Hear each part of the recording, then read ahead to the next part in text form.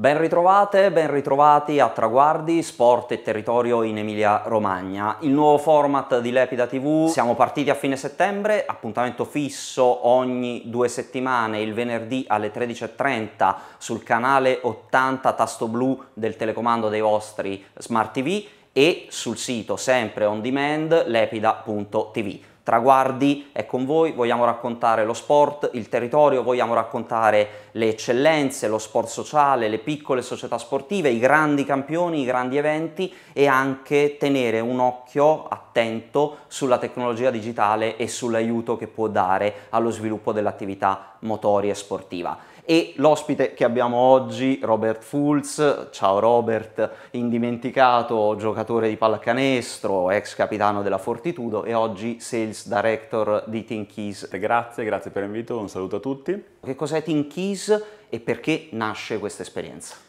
Allora, Team Keys è un progetto nato tre anni fa dall'idea di un mio ex compagno di squadra, Nicolas Crow, abbiamo giocato insieme a Imola, mi ha coinvolto in questo progetto e piano piano siamo riusciti a creare finalmente una piattaforma molto interessante per tutte le società sportive, professioniste e non. L'idea è quella di andare a dare un, un servizio che potesse aiutarli a livello comunicativo all'interno della squadra con un prodotto professionale e dedicato, creato da due giocatori come noi,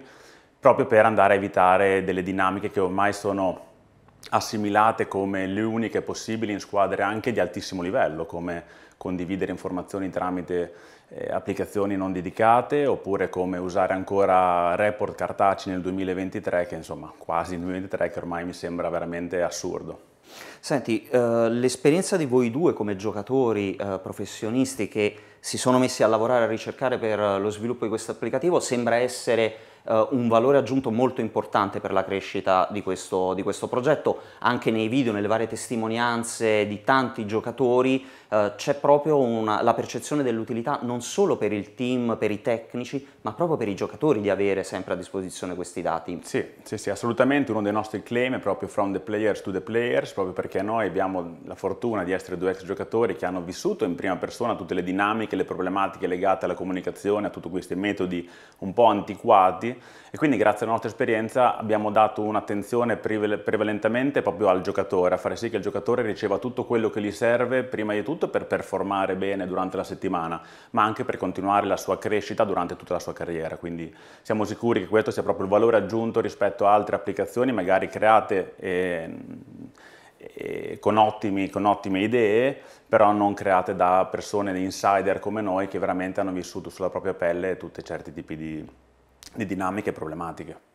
Voi siete una realtà radicatissima a Bologna, con un occhio insomma, a, a diffondersi per l'Italia e per il mondo, con uh, grandi ambizioni. Avete cominciato due anni fa con questa versione beta, adesso siete a uno stadio di sviluppo che vi permette di, di spiccare il volo. Mi racconti rapidamente di questi due anni di lavoro, di progettazione, di ricerca, di verifiche, di feedback, com'è andata? Beh, sicuramente sono stati lunghi, ma sono stati tutti necessari per fare sì di arrivare in questo momento e formarci anche noi, perché io Nicolas comunque essendo atleti atleti non sapevamo bene come affacciarci nel mondo delle start-up e capire quali fossero i passi giusti da, da fare. Quindi all'inizio abbiamo creato con le nostre forze, un po' in maniera anche amatoriale, questa prima versione chiamata Teambook e grazie ai nostri contatti, grazie comunque al prodotto che comunque era già funzionale, abbiamo avuto feedback da tantissime squadre, tanti, tanti allenatori sia di A1 che di A2, quindi più di 70 squadre in due anni ho già attivate e, la raccolta di tutti questi feedback ha fatto sì, e poi ovviamente l'ingresso di un, di un, importante investitore ha fatto sì di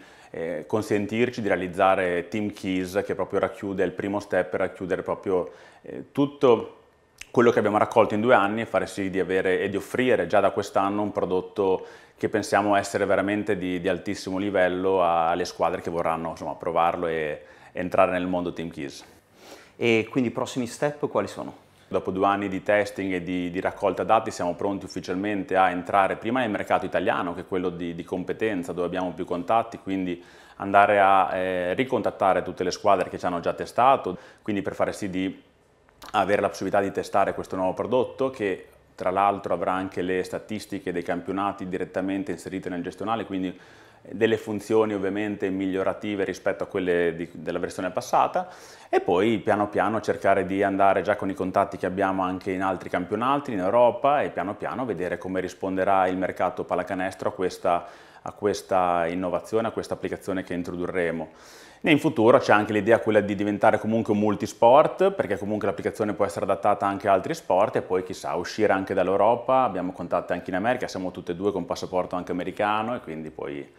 sognare si sogna in grande, quindi vediamo un po' dove ci porterà questa avventura. Dall'Emilia Romagna al mondo. In bocca al lupo, noi grazie vi seguiremo mille. chiaramente, intanto grazie per essere stato qui con noi oggi a raccontarci di questo applicativo, di questa esperienza di Tinkiss. Ma grazie a voi per l'invito, per la possibilità di parlarne che per noi è sempre un piacere enorme. E noi continuiamo con i nostri viaggi per il territorio. Oggi andiamo a Bologna, siamo andati a curiosare nella prima edizione dei giochi antirazzisti, un contesto particolare in cui le regole del gioco vengono stravolte in qualche modo, i campi stessi da rugby della prima periferia di Bologna vengono riattrezzati in maniera uh, sicuramente inusuale, andiamo a scoprire il tutto nel servizio e con le immagini e le, ri eh, le riprese e il montaggio di Domenico Parrino.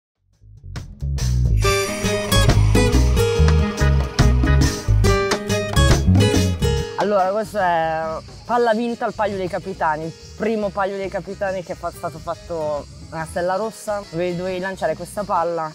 eh, in un cerchio, eh, io non ho mai giocato a rugby prima, quindi vabbè, ti butti, comunque ne ho fatti due più un, del capitano maschile e quindi l'ho vinta. Il presidente mi ha fatto promettere di portarla sempre a qualsiasi evento in cui andasse la Stella Rossa, quindi è sempre con me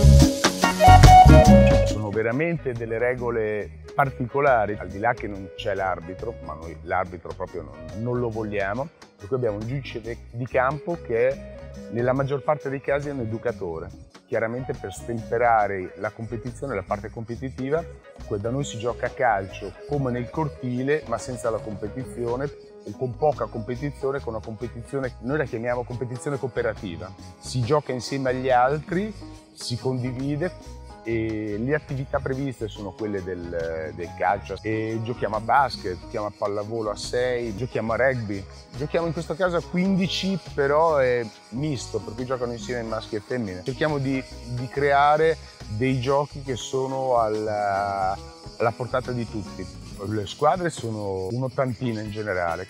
vengono da varie realtà, ci sono le cosiddette palestre popolari, quelle che fanno lo sport popolare, ci sono cooperative sociali, gruppi di amici, delle, delle classiche ONG,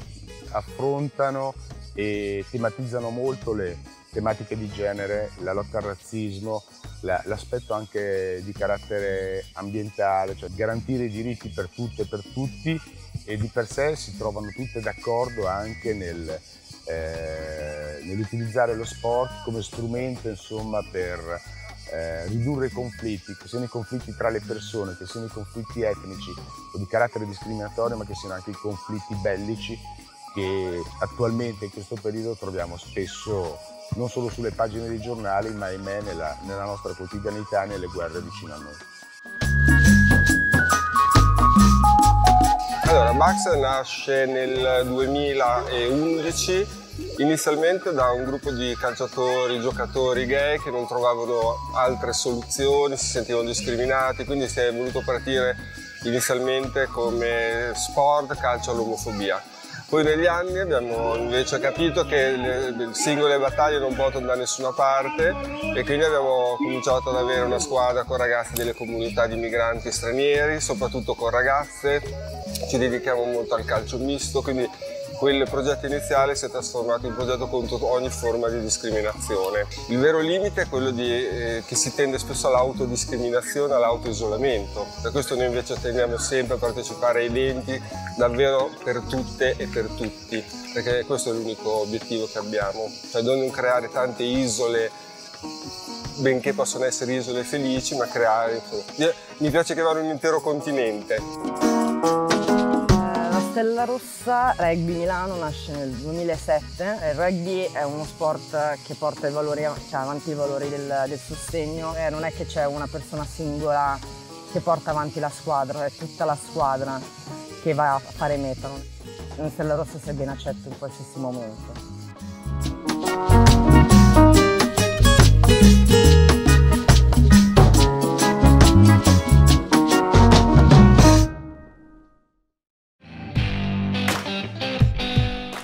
Siamo alla fine di questa seconda puntata di Traguardi, Sport e Territorio in Emilia-Romagna. Come sempre però ci salutiamo con una serie di appuntamenti. Gli appuntamenti immancabili per gli appassionati di sport con i grandi eventi, i migliori, più interessanti che ci sono sul territorio dell'Emilia-Romagna. Partiamo subito il 16 ottobre da Parma, la Parma Marathon, un appuntamento che è imperdibile per tutti gli appassionati di corsa in un contesto favoloso. Dal 25 al 31 di ottobre invece ci si ritrova sul circuito di Imola per le finali mondiali 2022 della Ferrari, l'appuntamento conclusivo della stagione eh, della casa automobilistica di Maranello. E il 26 ottobre, infine, tutti a Reggio Emilia, Teatro Valli, l'incontro con le farfalle della ginnastica che proporranno al pubblico all'interno del Butterfly Symphonic Gala le loro acrobazie, questa volta sul palco di un teatro. Con questo è tutto, io Vittorio Martone vi saluto, vi ringrazio per aver seguito Traguardi, ringrazio Marco Argese in regia insieme a tutti coloro che rendono possibile questo